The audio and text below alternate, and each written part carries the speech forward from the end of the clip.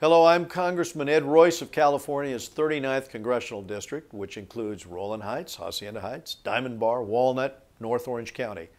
And as chairman of the House Foreign Affairs Committee, I'm head of the House committee that directs legislation related to America's relationships with nations around the world.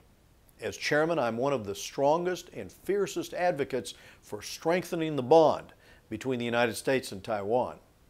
Congress has always led the way in supporting Taiwan, and under my leadership, the House Foreign Affairs Committee has done more to elevate the importance of Taiwan than at any other time in the past decade.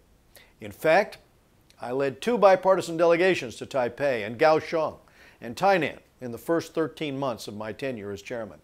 Last year, the President signed into law legislation that I authored to help Taiwan gain a seat at the International Civil Aviation Organization for the first time since 1976.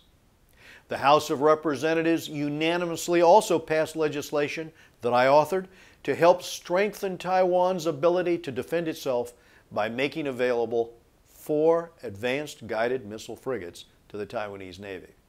The future of the U.S. Taiwan relationship is bright, it's full of opportunity, and next year I plan to lead a third delegation to Taipei in order to strengthen trade relations between our two nations.